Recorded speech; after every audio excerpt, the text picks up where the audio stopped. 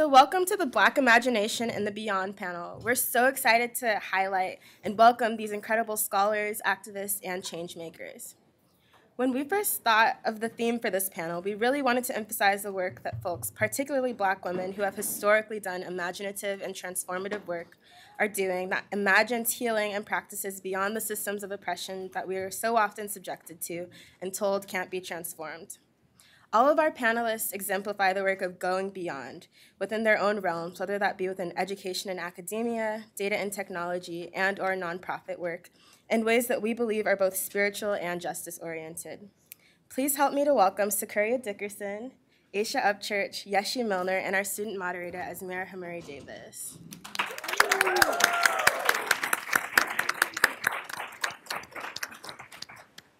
All right, so to quickly introduce our panelist and moderator, uh, we'll start um, with Sequoria. Sequoria Dickerson has been to over 30 countries studying, working, and praying with her feet.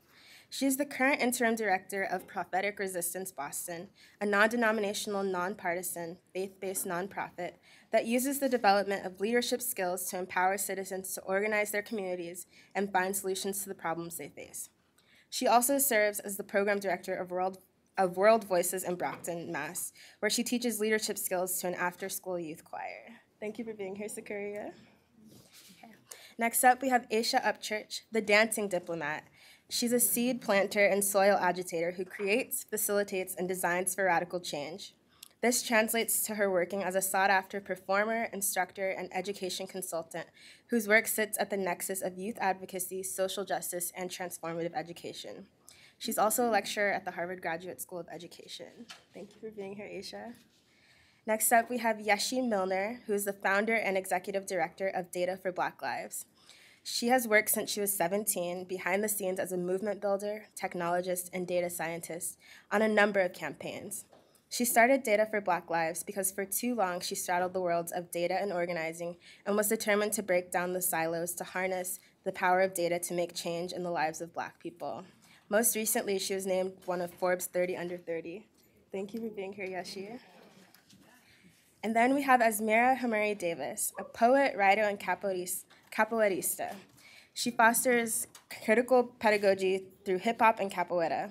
As a Fulbright Performing Arts alumna, her creative projects promote cultural identity and English literacy through arts and education. Rooted in the pursuit of racial justice and healing, she interweaves the African and Palestinian diasporas. She is currently a second year Master's of Theological Studies student here at Harvard Divinity School. Please give a warm, welcome, a warm welcome to Azmera and the rest of our panel. Thank you.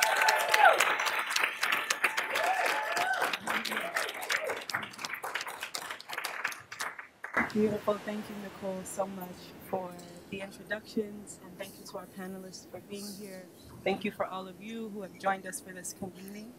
Um, it is an honor and a pleasure and a privilege to um, to be joined by each of you and the work that you're doing.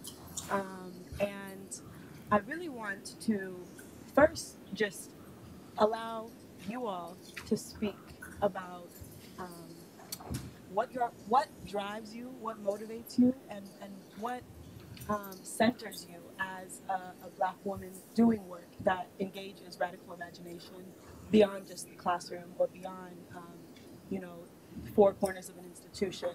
Um, so I'd love to open it up. If whoever feels so called to, to speak first can go ahead and share. And what we'll do is ask questions afterwards and open it up to the audience, if that sounds all right. Beautiful. Does anyone feel compelled to to speak first?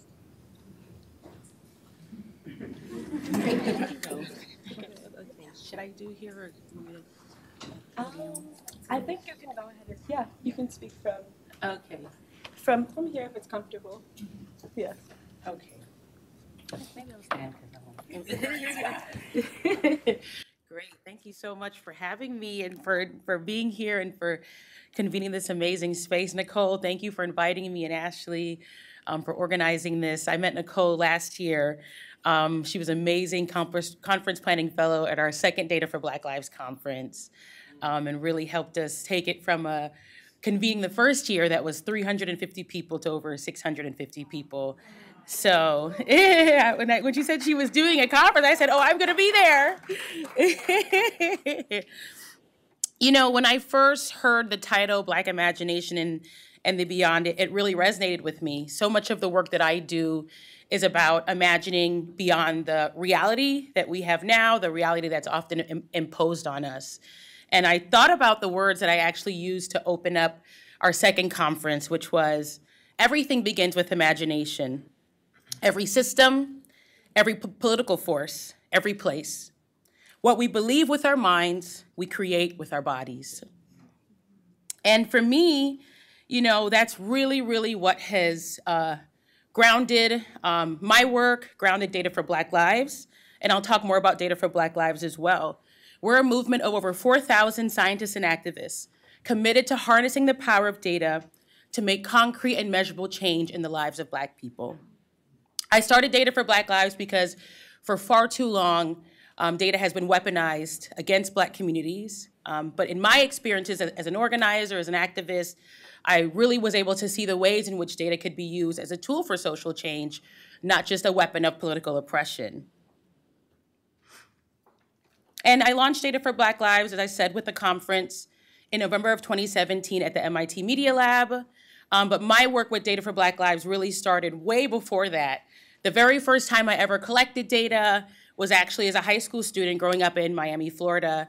Um, and this was after some other young people um, had actually organized a peaceful protest in response to uh, their vice principal putting a student in a chokehold, right? Yeah, and and you know this was 2007, 2008. So before, you know, thankfully we had more mainstream attention around police brutality happening in the streets and state violence in the schools. Um, and we we had video camera footage, but it was like still grainy. It was like Nokia phones. Um, you know, but it was amazing how these young people organized. And unfortunately, instead of being seen as change makers and as courageous leaders using nonviolent tactics, the school district, the police force, the, the, the, the city sent in SWAT teams, police cars. And usually when I do this talk, I actually show video clips because I remember being at home, watching CNN and seeing on the TV students riot at Miami Edison Senior High School. And I knew it wasn't a riot. I knew the kids who were on TV being slammed against police cars, pushed up, hidden with batons. I went to elementary school with them, right? They were regular kids wanting to fight back um, to change their schools, to change their realities, right? Their material conditions. And I think that for me switched something in me. Um, I got involved with a youth organization called Power U Center for Social Change in Miami, a very small organization, and we hit the ground running, right? We you know, I realized that unless we found other channels of expressing our political voice beyond protest, and, and, and in addition to protest, our lives would continue to be under assault. Uh, so we collected 600 surveys asking young people about their experiences with suspensions in schools, with arrests in schools. And it was really amazing because for the first time, you know, while we were doing these surveys, young people were like, wow, no one's ever asked me about, you know, being suspended. And I didn't know that, you know, because I was, you know, getting pushed out of school for not having an ID or having the wrong color T-shirt, because back then that was like gang affiliation. Um, that you know, I'm not a bad kid. This is a citywide problem. It's a statewide problem, and it's known as the school to prison pipeline. And there's groups of people, not just here in Miami, but all over the country, who are fighting for solutions. One of them being restorative justice, which is what we were fighting for. You know, and it took us a while for us to actually get restorative justice implemented in schools in Miami, but it's amazing that we took those uh, those surveys, took all those findings, and we made it into a comic book. And even today, I hear from people in different cities, Oakland, you know, Knoxville, all over, you know, Chicago, who are facing different conditions, um, but in different places. They were able to use our comic book, right? and to you know uplift the you know to, to not only reflect this missing data about young black people's experiences in schools but to really also push back against this narrative that was about us so that's what really pushed me into thinking about data reclaiming data as a as protest data as accountability and data as collective action. Um, i went to college and my um, focus in college was to just get as much data collection, research skills is possible. Um, I went to Brown, so you know we had open curriculum there, so they allowed that. you could really, I mean, if if you're very driven and you have a, a, a vision, you could do that there. So thank God for that. But you know, my goal was to go back to Miami and bring those skills, and I had an opportunity in 2012 when I graduated and in addition to continuing the fight uh, for restorative justice, I was invited to work on a campaign um, this time about something that you know I didn't know much about, which was Black infant mortality. Right? I was 22. I was a self-proclaimed feminist. I didn't know about breastfeeding. I didn't know much about women's and maternal health, and I definitely didn't know the ways in which corporate forces, such as infant formula companies and hospitals, were really, really contributing to this disparity. That even though the infant mortality rate um, had decreased nationwide across the board. This, the fact that black babies were three times more likely to, to die before their first birthday had persisted.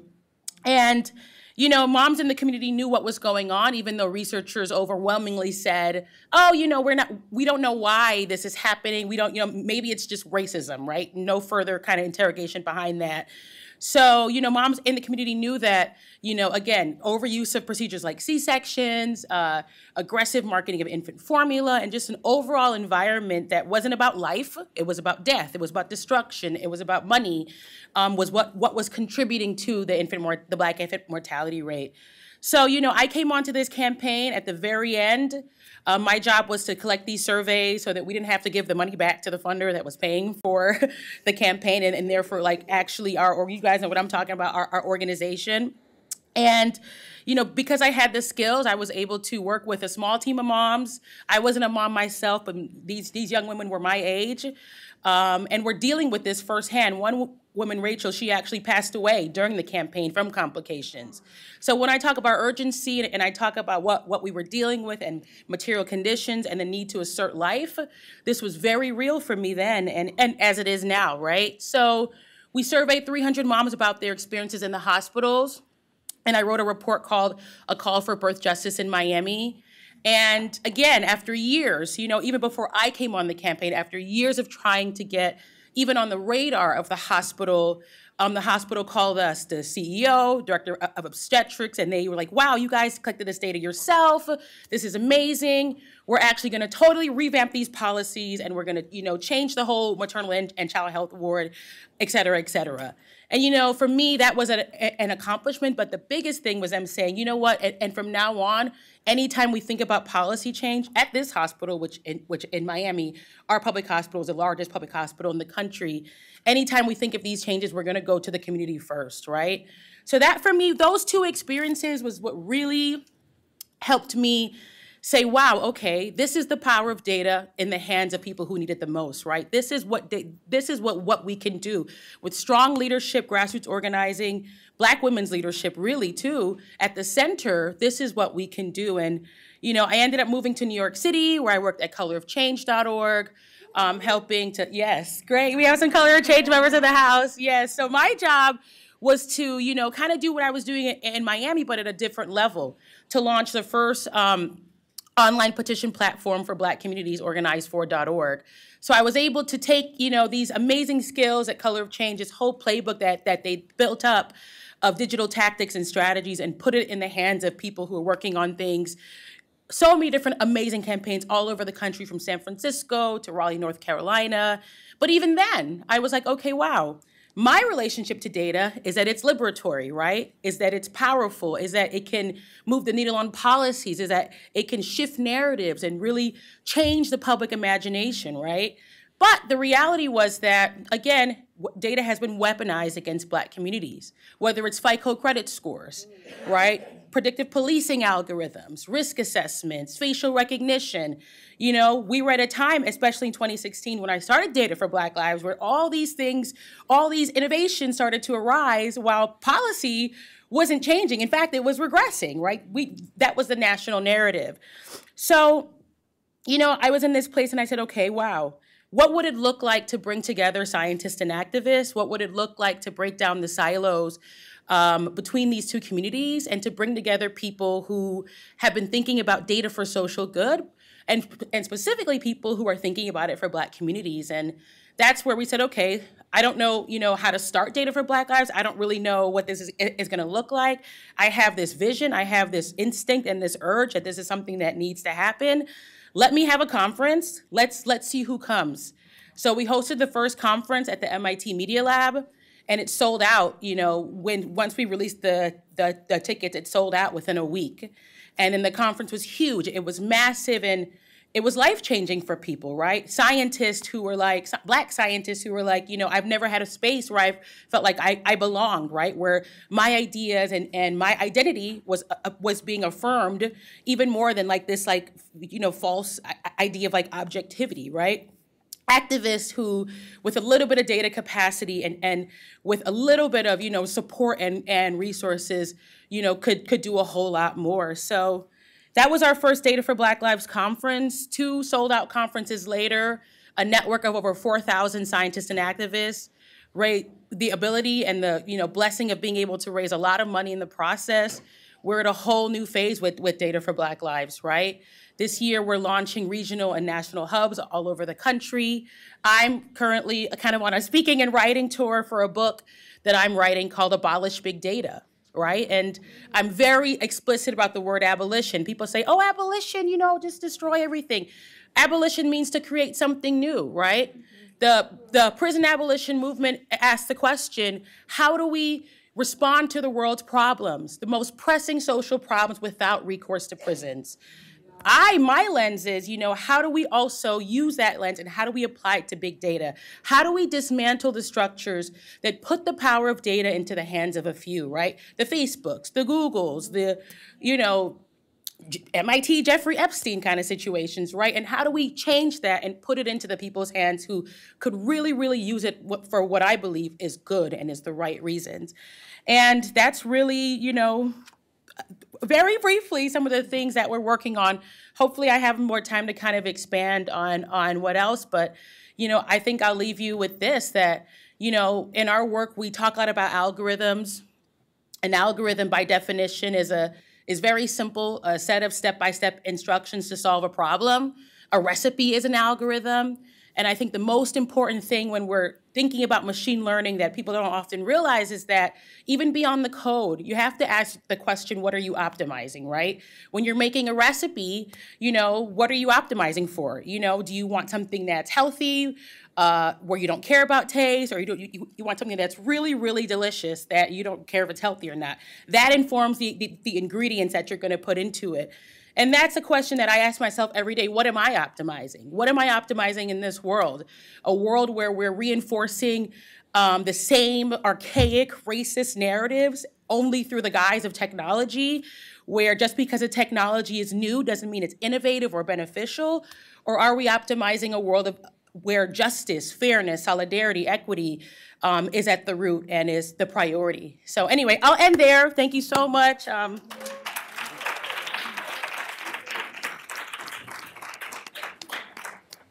thank you so much um, for that uh, powerful just oversight and overview of what uh, the what and the why behind the work that you're doing. Um, and um, I think we, I'd like to just kind of go ahead and allow for a continued um, conversation. So if, if, whoever wants to go next, you can, and then we'll kind of jot down the questions here and, and ask them afterwards. Good afternoon, everyone. So, again, my name is Sequoria Dickerson. I am a community organizer, um, the director of Prophetic Resistance Boston, um, a healer, a mom, a wife, um, and a soul who's very excited to just be up here and sharing some space with some very, very incredible women doing amazing things. So, I'm glad this wasn't too much work for one slide, because that's all it is.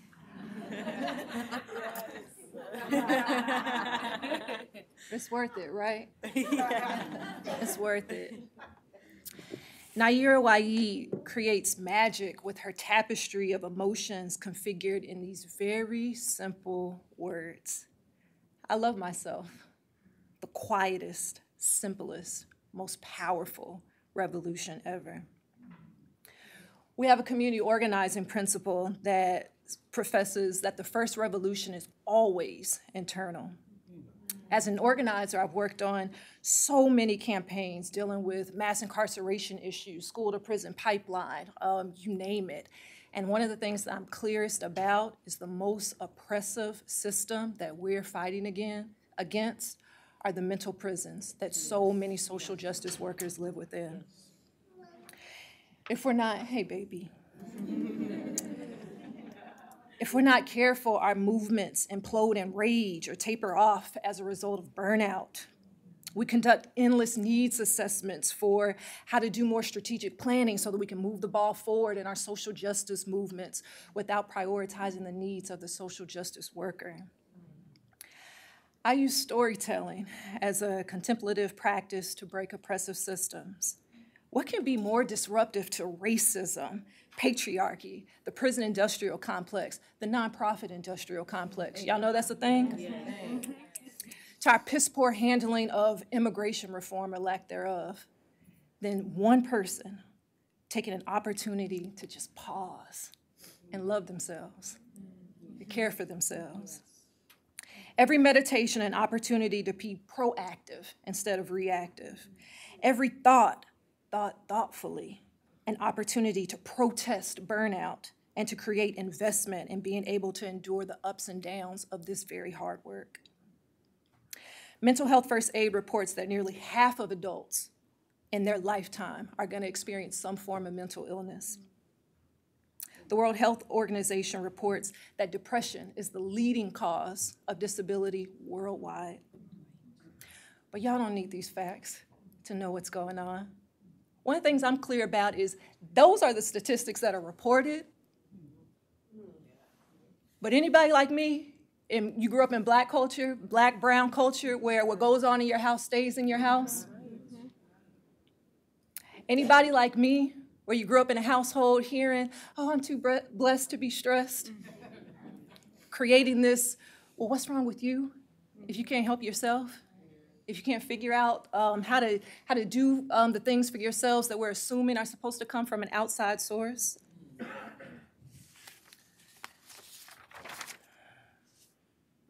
I think the thing that troubles me the most, though, is this really challenging revelation that I've been having over the past two years of doing this work. That we live in so many communities where we have a culture that shuns certain mental health illnesses while praising others. I don't know if it's just me, but stress, depression, anxiety, these things are mental health illnesses. But all too often, they get couched as overproductivity, as an asset for a company, as an asset for our social justice work. All too often, they get couched into, oh, but that person's just able to multitask because they can deal with so many things at the same time when their baby just died. Through storytelling and holding space for folks to talk about the wholeness of who they are the good, the bad, the messy, I think that's where the real healing work is. I think that's all our social justice work is about. There's this beautiful book called A Course in Miracles. Anybody read A Course in Miracles? Mm-hmm. Oh, yeah, love Course in Miracles. It says that there's only one miracle, and it's not walking on water. It's not restoring sight to the blind. Only miracle we have is looking at another soul and reminding them, ain't nothing wrong with you. Mm-hmm. Everything you need, you already got. You're already whole. So let me be clear, I'm not a therapist. I definitely don't pretend to be one. And I don't have to be because there are many folks out there like Dr. Brene Brown who are doing some amazing work around just shedding light on when we're willing to be seen, that there's so much healing in that, so much work productivity that comes with just that. So I'm encouraging people to explore different traditional, non-traditional healing modalities that are effective to you, um, re resonate with you, are authentic to you, but what I bear witness to are the thousands of testimonies that I've been honored to hear over my course of doing this work that scream to the healing power of storytelling and its critical ability to be one of the most foundational igniters of movements. Of them all, the most insightful experience that I've had that's personally pushed me to seek change and justice has been my own mental um, health struggles with depression. From the time I was in fifth grade, I struggled with depression. going to magnet schools, um, indoctrinated into this Western work hard culture, um, promising opportunities of stuff that I don't have. I learned to excel in high stress situations. Anybody else learn to do that? I learned to wear overproductivity as a status symbol and that I would be rewarded for doing so in as much as I was willing to put myself in competition with someone else. I learned to compete for scholarships. I learned to compete for jobs, learn to compete for promotions, learn to com- compete for funding from other nonprofits, learn to compete for um, social movement, learn to compete with other social movements to um, have access to leaders and community, learn to compete for news coverage. Along the way, I learned to compete for so many other things. Compete, perform, compete, then repeat it all over again. So I appreciate that we're talking about dismantling the status quo with alternative activism practices. I don't think it gets more status quo than our participation in upholding these oppressive systems of competition than through the glorification of high stress power positions that we're all working towards. And even worse, the ways in which we normalize stress as just a part of our everyday life. I learned early on that mastering the telling of my story as a form of excuse me, I learned earlier that mastering the telling of my story was actually a form of currency that you could use if you didn't have money. I learned if I could tell my story in a certain way, funders would fund the movements that I care about. I learned to develop storytelling as a tool that serves me for those purposes and can serve my community.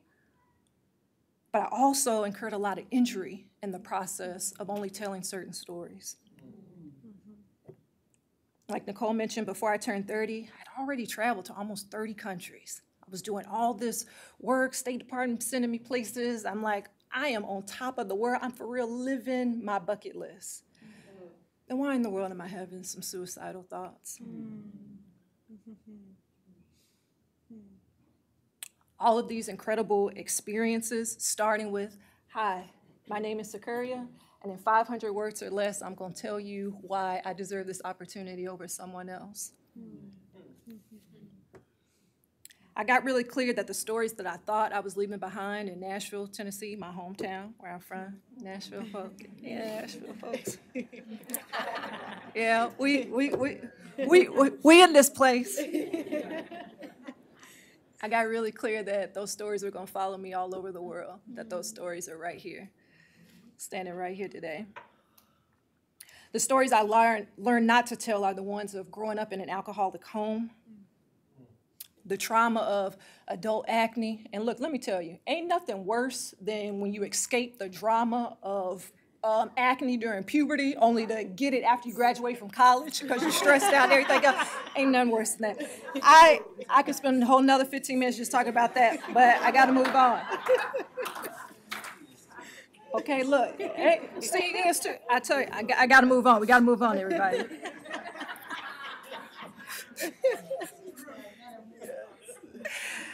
Oh my goodness. Thank you. I'm having fun with you guys.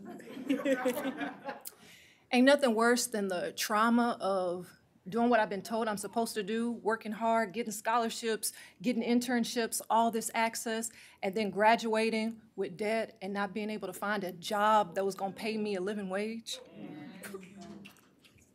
I struggle telling the stories of the scars um, that I experienced growing up with parents divorcing, not having stable home, the insecurities that sometimes even now I still feel as a wife and how I'm balancing this work and being a good wife, a good mom. I struggle with the shame of what it means for me to be a minister in my own right and struggle with depression. Fighting for justice and change for everyone else, everywhere else, and not experiencing it for myself. What I've gotten clear about is as I've started to share my own desperation for help, this different Me Too movement has started to manifest in my own consciousness um, and in the circles of influence that I have. As I've become willing to stop performing Sequoria I was affirmed as black and brown lawyers and journalists and department heads at universities and faith leaders and my people from around the way started saying, Me too.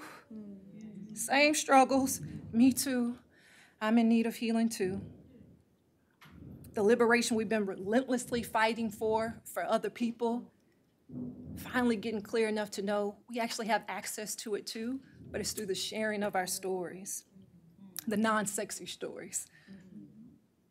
The truth is, some of our messy stories, and I want to be very, very clear about this because I'm not encouraging everybody to just go out tell your story to, to, to whoever. Because the truth of the matter is, some of our messy stories um, get us New York best-selling books, right? And some of our messy stories have the Boston police showing up at our door, talking about, hey, put you over a lot of five, right? This is true. So I'm asking you, use discernment around the sharing of your story, use discernment around the when and the where of your story, but to be very, very clear that a lot of the trauma that can sit in our body that immobilizes us from being able to do social justice work lies in those stories getting stuck in places and not being reevaluated. A few years ago, um, I was blessed to have this session where I did an energy dowsing. I'm sure if people were familiar with that. So this man is running these rods up and down my body, and he gets to my throat. And he's like, You have really low vibration in your throat. But it would shock me to think that you have a hard time using your voice, because normally that's what that means. And I knew exactly what he was talking about.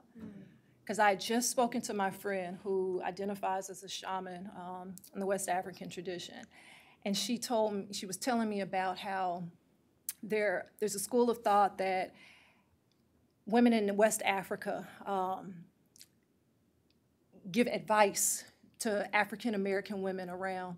Look, one of the things that's causing us to be so sick is our inability to be able to use our voices in ways that move energy out of our body. That so many of us are accustomed to using our voices in sophisticated, polished ways and definitely not screaming, stuff like that. Stuff like that immediately puts us in a place of being dismissed, puts us in a place of being able to um, just completely um, not be heard, and even worse, can sometimes put us in places where people think that they then have right and free range to harm us. So I got really, really clear that the most healing thing that I was going to be able to do was this. Ah!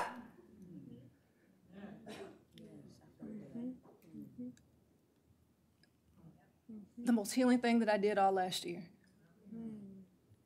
The most healing thing that I've done all last year.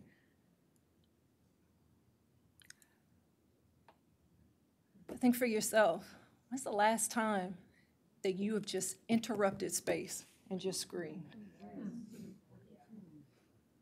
When's the last time that you stopped your executive board meeting and just screamed? When's the last time? When's the last time you've been walking around at midterms, finals? and, ah!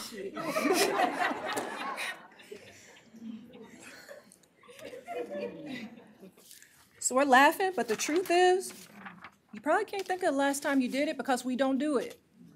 And it's on purpose. We learn to use our voices in ways that benefit other folks and ways that facilitate our healing. We hear all these narratives from outside of us about how those are not worthy, not valuable, not appropriate means of communication. Mm. There's this therapeutic practice called co counseling, and the whole premise of it is that by pure virtue of you being able to just just discharge just to get your emotions out there. So whether through crying screaming like whatever it is just by getting those feelings out that you don't need advice from anyone else. You don't need to be told what to do. By pure virtue of you discharging you heal yourself enough to be clear enough to make any decision that you need to make. Because every decision that you need to make you already know what to do. That this constant look and source of um, information somewhere else, that we don't need it, that we already know. So I want to end with this. I think through the process of the storytelling and like really mastering the art of discharge. We aren't just creating revolutions. In essence, we become one.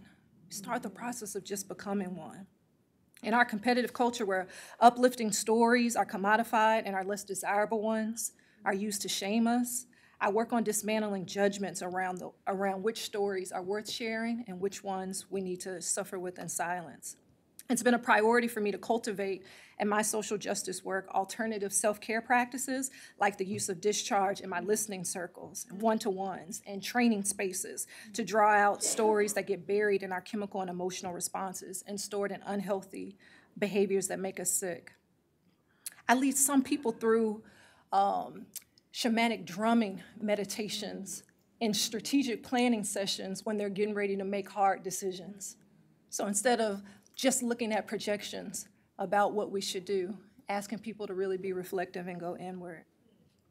I'm an herbal student. I lead healing retreats for black and brown women where there's no presenter when you show up.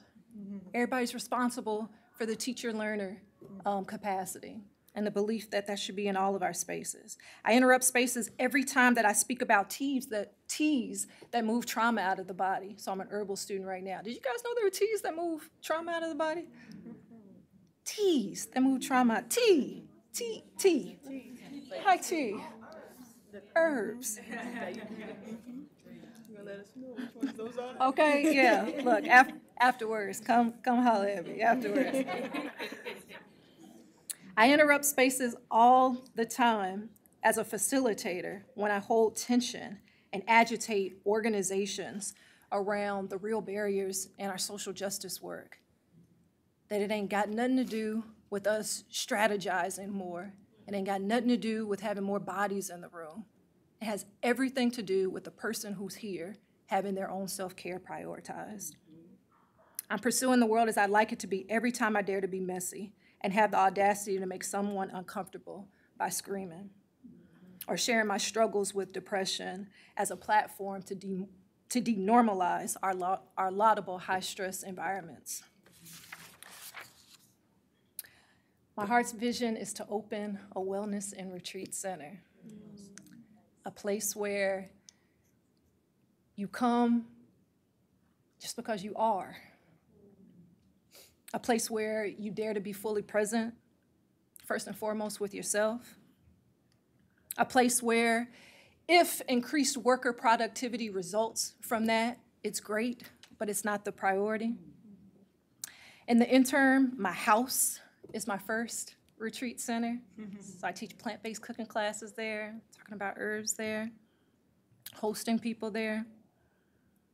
Every speaking opportunity, every training space, every facilitation space is a wellness plan for me, mm-hmm. where I share the simple prescription of storytelling as a powerful healing modality and the catalyst for building strong movements.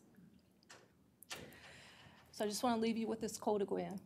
I love myself quietest, simplest, most powerful revolution ever. So thank you for space, for allowing me to heal today through the sharing of my stories. I hope you do the same.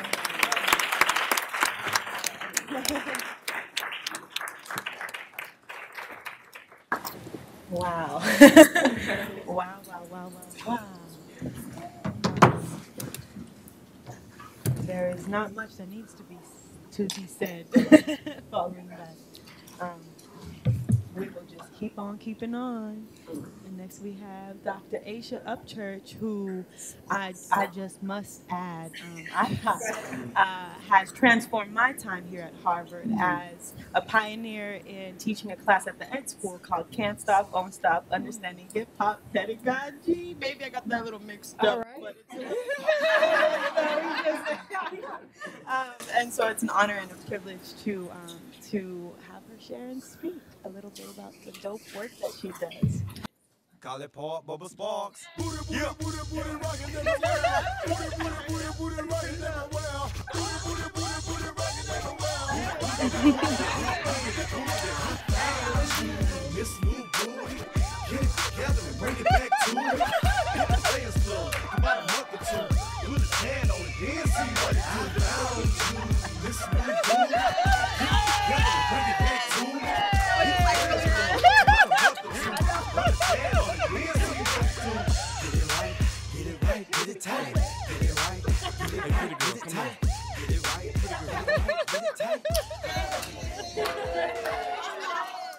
Now that I have your attention, we can begin. This is not a piece for your entertainment. In fact, this is not a piece at all.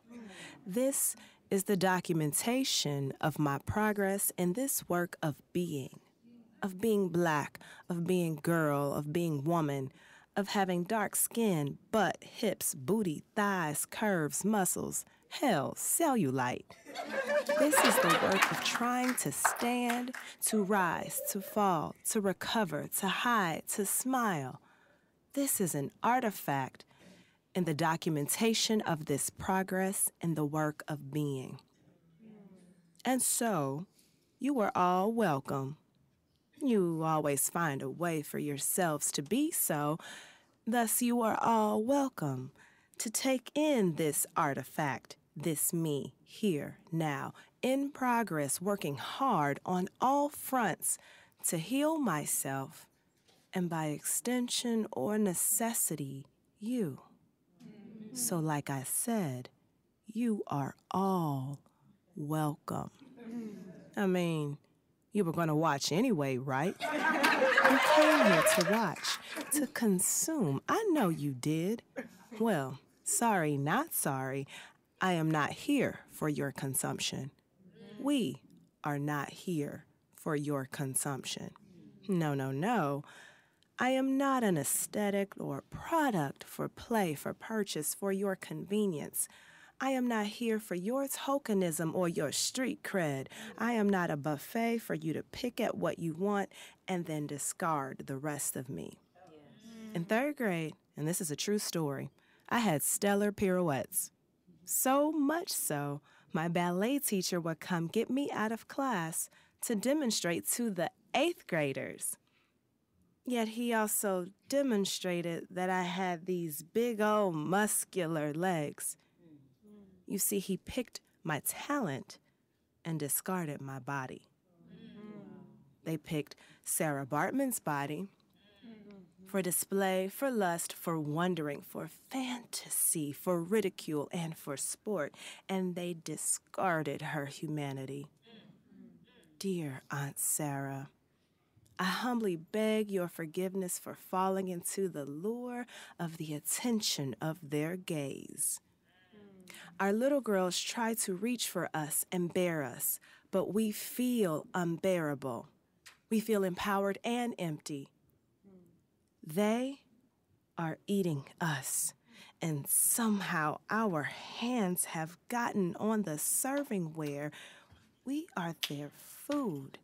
Yet we long to taste our own sweetness without being devoured by them.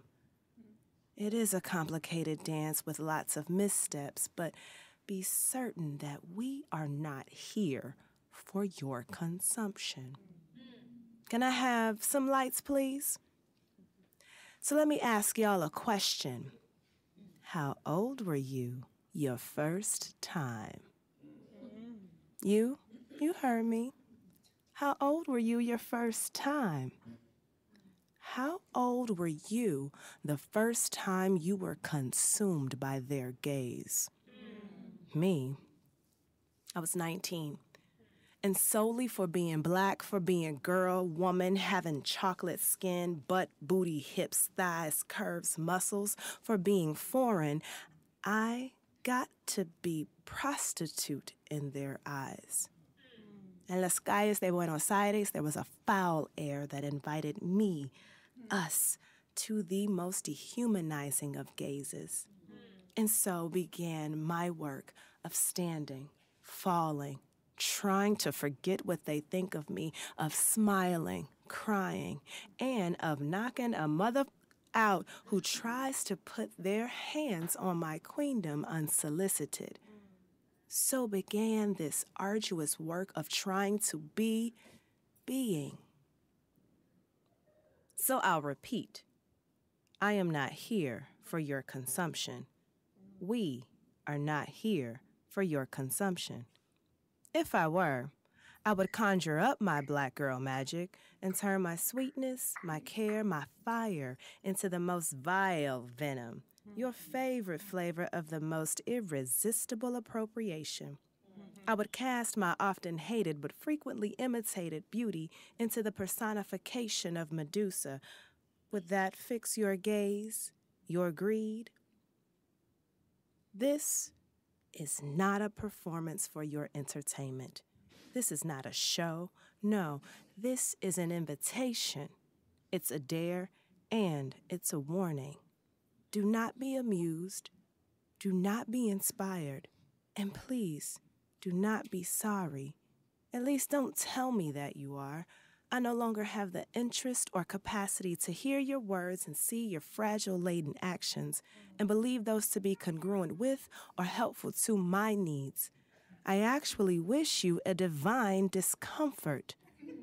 I wish that you become so diseased that you do something differently, do something better. This has been an invitation to be more than entertained, to welcome discomfort, and to be your own work in progress, so that my progress and being can continue without so much damn work. Can I get some music, please?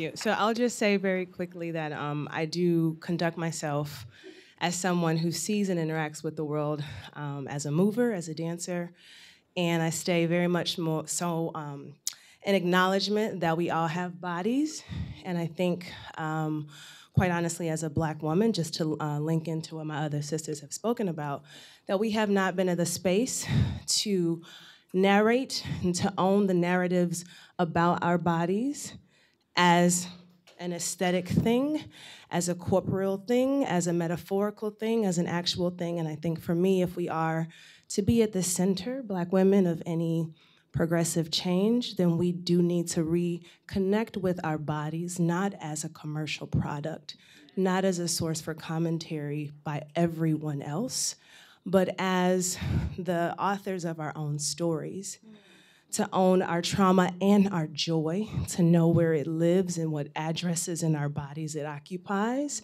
Um, so that if we often are, anyway, in spite and despite of our own power and, and, and will, placed in this position to be uh, the, both the inspiration for everything culturally dope, or also robbed of our creative um, authorship, then we might as well make sure, since they're going to siphon from what we do, that we be in control of our free, liberated selves.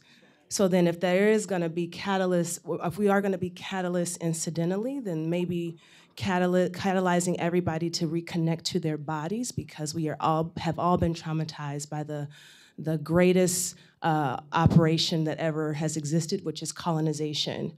And as intentional as, as it has been, it has also suppressed how we live in our bodies and conduct ourselves. And so, as an educator, as an artist, as a human, as a sister, as a daughter, as an auntie, I'm out here in these streets, in these halls of academia, believing that dancing it out is not just for expression, but it is also um, very necessary for individual and collective healing.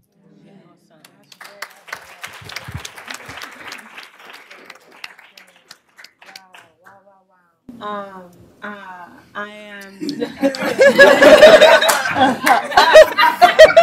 I'm feeling it in my body. I'm feeling the move and Hey. the groove, and I just want to honor and lift up and discuss some of the things that the, the, the themes, but also the particularity that each of you are talking about when when you when you talk about how you have learned to cultivate yourself first, your your your your personhood, your human your humanity, your dignity that has been attempted time and again to be robbed, silenced, um, minimalized, um, and how at the center of that, each of you have talked about um, the importance of connecting with our youth, the younger generation, creating, um, you know, data for Black lives so that youth who are affected by by these technologies that aren't are indirectly or directly and don't aren't aware of it can begin to have access to information um, whether it's through their parents or through other um, spheres of influence that then can help them to redirect or better use these machines that we're inundated with. Um, and um, you know uh, Sequoria, you you speaking, naming, you know, doing work as a director of programs with youth to to center leadership and what that looks like in communal praxis, but also what it means to begin to honor the poetry, the simplicity of I am, I am a revolution. I am who I am, and I need not be anything more or or, or, or less. Um, I think Professor H, Professor Upchurch, about um, something you talked about and assigned in class, KRS One. He states, you know, hip hop is not, um, you know, it, it, it's Not just the arts. it's not just the arts. Thank you. There is a consciousness to it. There's a, an active consciousness to it, and and that's what so many people, what it has been commodified to become. We, we forget that it's rooted in peace, love, unity, and having fun. That that's where it came from. Um, and so I want to center some of those principles and what you all were speaking about, and and and and give you a ch- uh, perhaps a chance to. Um, uh, elaborate um, a little bit more on um, some, something that you brought up, Sequoria, discharge, the discharge. And I feel like what we just saw, Professor A- um, Upchurch, was your beautiful discharge and reclamation and statement and invitation, as you said. Um, and how you centered that, yes, she so, so well in the beginning with naming why you began to embark on this journey of entrepreneurship. So if you want to offer up, because I know it's being recorded and there are going to be some young people watching, um, can you elaborate a little bit on the, the, that power of discharge and maybe what you would um, tell your younger daughter or sister or um, student from these, these here walls at Harvard?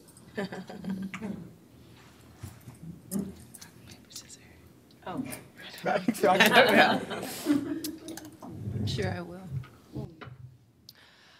A mentor of mine in this work um, said to me very early on when I first started organizing, um, Sequoria, you teach people how to treat you. And I think that's the most um, powerful lesson that I take with me um, each and every day, and that every opportunity is, every moment is an opportunity to make different decisions about how I want to be treated.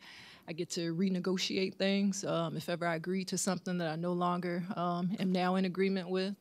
And I think organizing um, and social justice movements, especially, is just this beautiful display of people renegotiating things all the time. Um, and so I, so I think, especially as it relates to um, just leaning into what it means for us to be fully authentic with ourselves and in tune with our own bodies, in tune with our own needs, in tune with maybe this um, healing practice um, was powerful for me last week um, and maybe it isn't for me anymore. Um, I think that has everything to do with a person's ability to be whole and able to do this work well. Um, I think one, I, I, I like people. I like them all mostly. Um, I love, I love working with young people um, because they teach me the new dances um, that make me feel very old. Um, but like that, I joke in that, and like, but I think a lot of times as we move through this invisible draft of becoming an adult and then being very serious and somehow now like all these this young generation is out of control. It's just unsalvageable. Um, i like working with young people because i feel like in the midst of it i, I am around folks who still are hopeful and optimistic and um, haven't been completely uh, drafted into becoming curmudgeonly um, and just like woe is me. Um, so I think it's important to be a, a supporter. I try to figure out how to be a cheerleader with and for young people and and keep learning from other folks who are doing super dope youth, development based work where the adult in the room is not meant to just tell you what to do, tell you what to do, just sit down. I mean, I grew up in, I'm from St. Louis, Missouri, grew up um, in some, you know, conservative Midwestern leanings, old school leanings. I love my family, my, and I'm not faulting them, but a lot of um, be seen and not heard. Um, and the pedagogy of that is very long lasting. Um, and I I try to not be that person with young people because I don't want to quell their imagination. Imagination isn't isn't doesn't have a price tag on it. I don't think. I think we all have it. Um, and so I think working with young people, I feel like my role is to make sure they're still in touch with it. If the if the fire has gone out, then how can I be something that helps fan it um, back aflame. And I think the arts are positioned in a way to help with that, mm. particularly. Um, and so I think like when I, I have a lot of nieces and nephews, and I think about my nieces a lot. I'm particularly drawn to young black girls because not that that's a monolithic experience, but I know a lot about being a young black girl, and I know a lot is around the things that we are told outright and the things that we just kind of imbibe and learn quietly about how to be some of that empowering and some of that very disempowering. So I have a heart to stay around young black girls because if I could save, not that I have a savior's cape on, but if I could spare, I should say, anyone from learning some lessons the hard way that I did, then I feel like that's my obligation to treat every young girl like my little sister um, and help keep their imaginative flames alive um, because certainly my pathway to go from the neighborhood I'm from in Northside St. Louis to be a Harvard professor, there wasn't necessarily a, a, a roadmap that anybody kind of like revealed for that. And I'm being an artist, I've kind of created my own pathway anyway. But I think I don't want to exceptionalize myself. I think the ability to dream and to imagine and to do is out there. So I'm supposed to be around young people to help amp that up. I'm like hype person 3000 for them. So um, I, I, I, I like nothing more frightens me than a young person who is not imaginative anymore. That I feel like that is a fail that is on all of us, and we shouldn't applaud ourselves when young people strive in spite of our um, apathy to support them. And so that's the that's the call behind this for me. Great, wonderful. You know, I like thinking about wholeness and, and, and thinking about this generational conversation as well. For me, you know, I had actually one of my mentors who went to Harvard Divinity School, the chaplain at Brown, Reverend Terry Cisse. She um, she would have spiritual directions and at Brown, and this was a space that she created for us. And you know, one of the things that we would always talk about was not who we wanted to, not what we wanted to be, but who we wanted to become. And even as like an undergraduate, I thought about that all the time because you know, as, as, as, everybody was saying earlier, there's so much pressure to do this and to become this. And I think, you know, for me, you know, even just this whole process of starting off as a youth organizer and coming and starting Data for Black Lives, like in the process, I saw a lot of black women sacrifice themselves, right? I saw people literally you know, become martyrs for the movement. I saw people put themselves second, and then this nonprofit industrial complex system spit, chews you up, spits you out.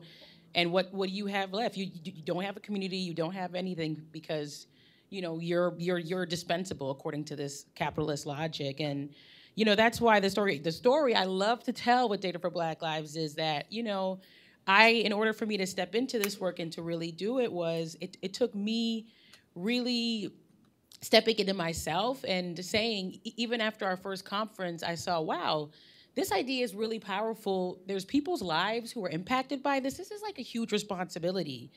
What I'm gonna do is I'm actually gonna move to Arizona for a year and a half, be in the desert, be completely in quiet, spend time off the internet, be, you know, take up weightlifting, movement, and just be in a place where I can pray, meditate. The opposite of what people wanted me to do, right? Oh, Data for Black Lives, there's so much hype. This is great. Stay in New York City.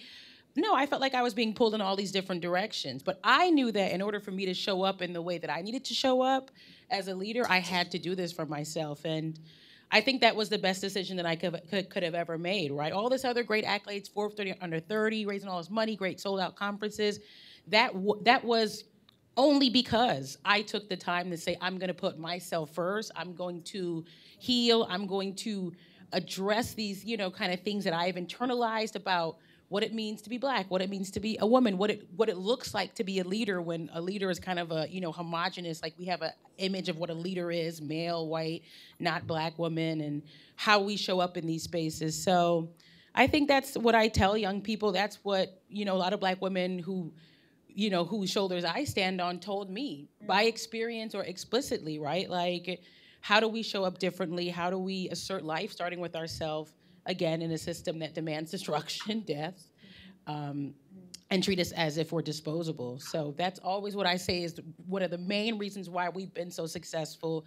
And that's what I really lead with our movement, right? How do we put people first? How do we create a space of love, healing, and belonging, right? That has a lot to do with data. You know, that's more important than data. Um, because imagine if all these technological systems were actually infused with that versus destruction, right? We wouldn't be in the situation we are in now. So. Thank you, thank you so much. Um, we're going to open it up for questions. I got my one question out. So we uh, have uh, folks who are going to come around, and if you have um, any questions for any of the panel panelists, please just raise your hand, and we are going to have an open dialogue dance. One over here.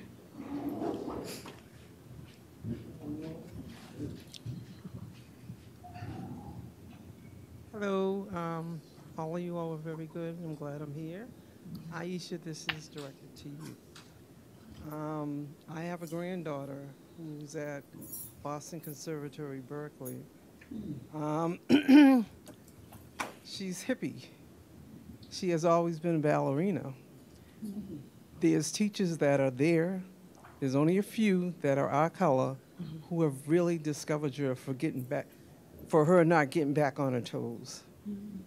You know, and I mean, this was her passion, and they have wiped it out, and this is her last semester at Boston Conservatory, Berklee. I mean, have you taken a child who, who's done something her whole life, and all of a sudden it just stopped. How would you address something like this? Um, thank you for offering that. Um, you know, I, I grew up, and I still do. I love ballet, um, but I also grew up naturally just in my community and in my family with West African dancing and drumming and jazz.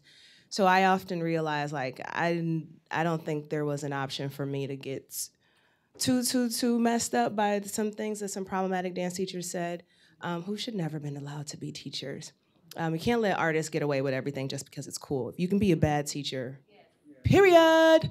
Um, so what I would offer is for um, for for her, for you all as a family to um, look at the other places that are here in Boston where she will not feel um, marginalized and not be treated as spectacle um, either outrightly or um, less directly because of, of the body that she's in. I think there are some studios that are here, but I also think like there are companies. I mean, I didn't, it wasn't until I was in my early 20s when I saw Urban Bush Women perform and it changed my life. That was the first time I saw brown women with kinky hair, booty hips, boobs, the whole nine, moving beautifully in different shades of brown.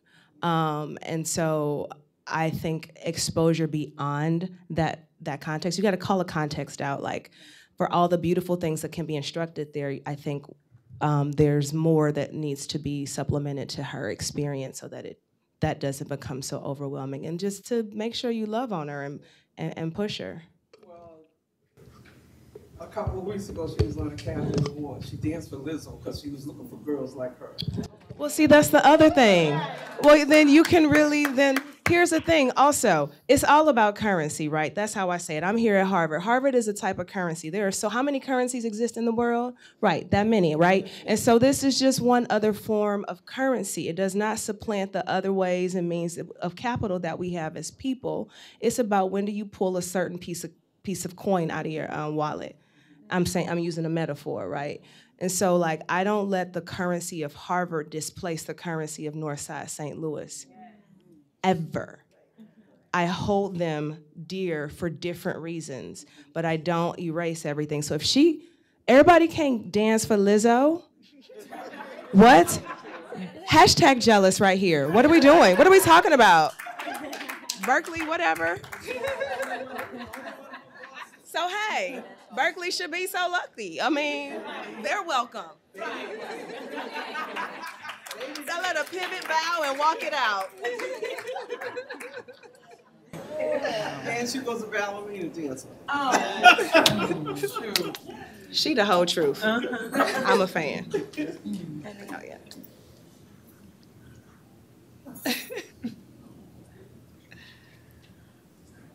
Go ahead. we got a question up here.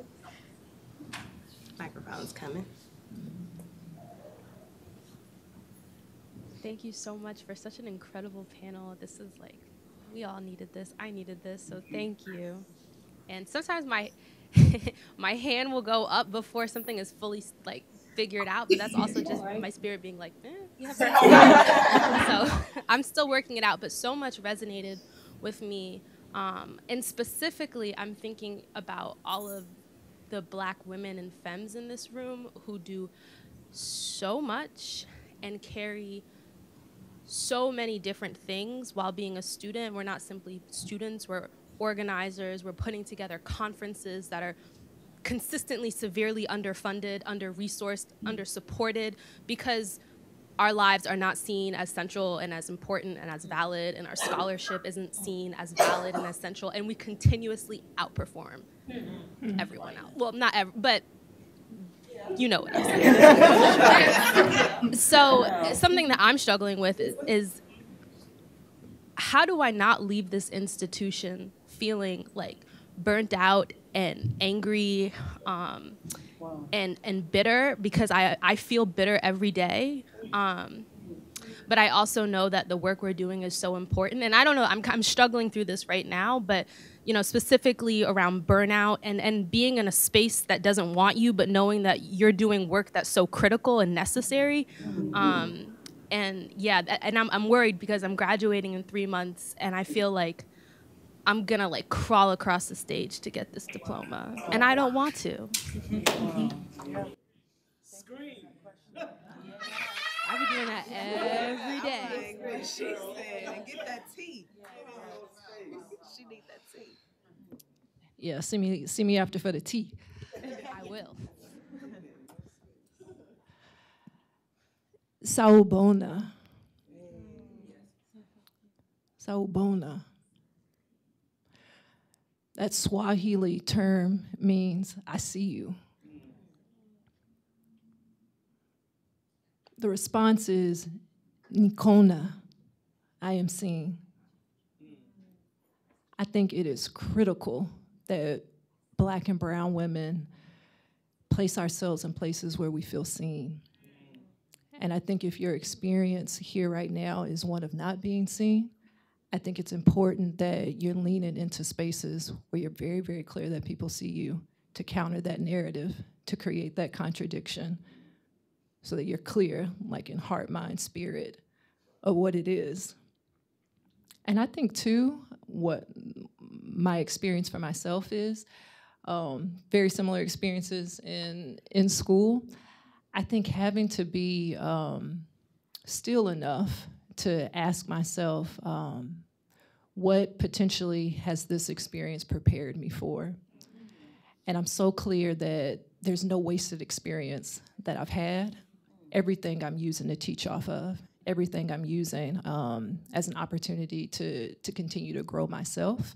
And so I think just for you, being mindful that um, even now with all these experiences, I imagine the future you will see all the ways in which they get recycled um, into these beautiful stories of times when you endured, times when you thrived, times when you were pushed um, to be the highest version of yourself.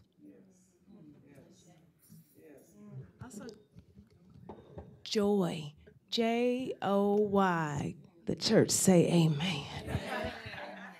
Was the word that came to me last year for other reasons, but I just, I think for everyone in any institution, this one or wherever, that joy does not come from people. I personally don't believe it's the same thing as happiness.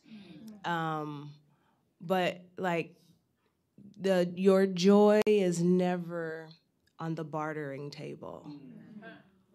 And that this place remember that you don't have to i don't feel like we should allow we should accidentally place institutions in a in a position where we start negotiating our joy. Mm-hmm. Like i get out of harvard what i need to get out of harvard and harvard's blessed by me um, but i don't i don't transact on my joy.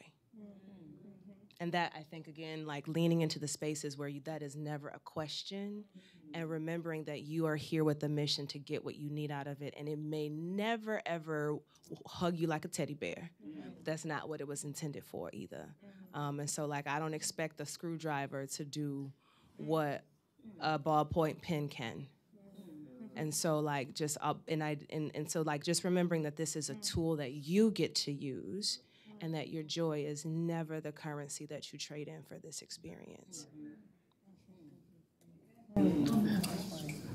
Ooh. Yes. I'm still on the don't expect a screwdriver to do what a ballpoint pen can. Um, I think we had a question here. I didn't really have a question. Okay. So, um, I came here uh, with my partner, um, to support. We'll give you the microphone so. Because it's being recorded. I want to say alafia to you, uh, which means peace in the Yoruba tradition. I'm a priestess of Yoruba, uh, Shango to be specific, for 30 years. And I just, and I'm, my 80th birthday is coming up. Um, Sorry, what? It's coming up next weekend. So for me, It's a rite of passage. And we came here to support my partner's um, second cousin, um, who is going to be delivering at 5, uh, at 5 p.m. So we're talking about Vanessa Lindley. So everything that I've done in my life up to this point has brought me here because it, you are an incredible uh, group of young women. Okay, I love this intergenerationality. I mean, it's just uh, I learn from it, and and of course uh, you have the opportunity to question us, to uh, interview us, to uh, do all the learning together. But what I want to say is that I put together um, conferences in New York City. I'm the founder of the LGBT Kwanzaa um, organizations that has been together for 43 years. I'm sitting here figuring out how I'm going to get you, you amazing young women, to New York City and let us do all that you do the wellness, the healing, the movement, uh, social media data. Okay, so I want to talk about that when we finish.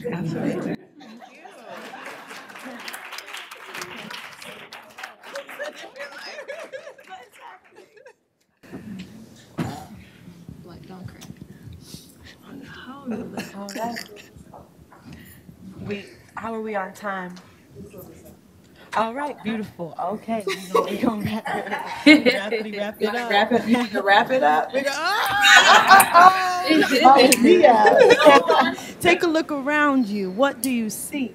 Everything they said you wouldn't, couldn't, shouldn't be. We break boxes to be free. While while while cynics scoff and deceive, they said you wouldn't achieve, but you wouldn't believe all the pain they put you through. Throwing shame in your name, but can't change what God already ordained in you. So, darling, keep your head up. Never let them see you sweat, cause darkness can't drive out darkness, and hate can't drive out hate. And in this space, He can spark His love that can liberate, grace to permeate. Shout out to MLK, yes.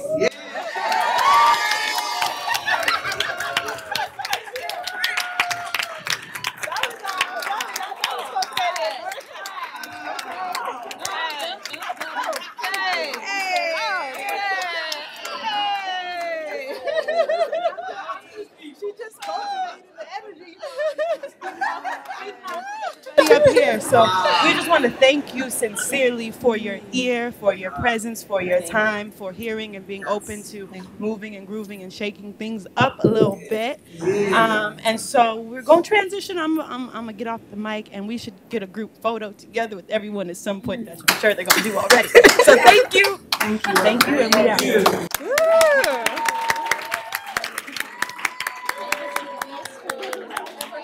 All right. Thank you so much to our amazing panelists and our moderator.